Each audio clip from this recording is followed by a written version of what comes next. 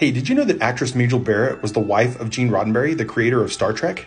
She was also the original number one, played Nurse Chapel, voiced Nurse Chapel, and was the voice for many onboard computers, including the Enterprise. Like and follow for more, and now you know.